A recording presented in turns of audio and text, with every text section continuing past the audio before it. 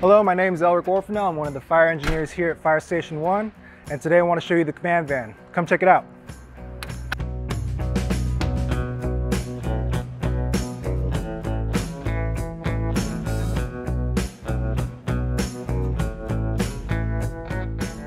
This vehicle is 33 feet long, has a height of 12 feet 6 inches, and an approximate gross weight of over 17 and a half tons.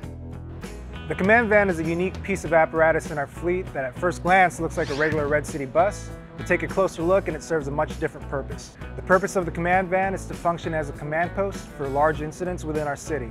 It helps us support our command staff with planning, logistical needs, which in turn equates to safer operations for our firefighters. The command van can be dispatched on request for large-scale incidents such as high-rise fires, wildland fires, or other natural disasters like the flooding we experienced in our city in 2017. The van is also useful whenever there is a long operational period, whereas emergency events is ongoing for hours or even multiple days. That being said, there are little added features throughout the van, such as this patio awning, which helps keep our chief officers out of inclement weather during the incident. This apparatus is also helpful with organization whenever a department is working underneath Unified Command. Unified Command is a team effort process that allows different agencies to work towards a common goal within an emergency incident. Under Unified Command, your San Jose firefighters are able to work more cohesively with their law enforcement counterparts, as well as other fire departments from different cities and counties. Another unique ability of the command van is that our highly trained fire dispatchers can be requested to respond to the incident scene and dispatch incident communications from within the vehicle. With having clear communications playing such a pivotal role in our emergencies, this vehicle is equipped with a large telescoping antenna. Let's come check out the inside. Van also comes with an expansive li library of emergency pre-planned binders, as well as worksheets that we can use as a reference or playbook for different types of instances, whether it be urban search and rescue, hazmat, wildland, airport emergencies, whatever it is, we've got you covered. We also have many radios scattered throughout the van that allow our chiefs to monitor and communicate on multiple frequencies at once, as well as the ability to record radio traffic for immediate playback.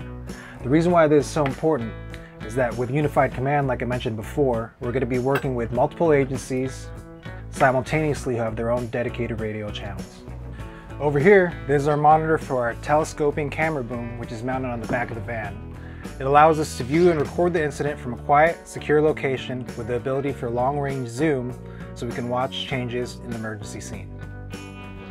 In recent years, the command van has been deployed on a number of incidences such as the floods in 2017, the 90 acre fire that we call the Colleen Fire that also burned in our Santa Teresa foothills last year.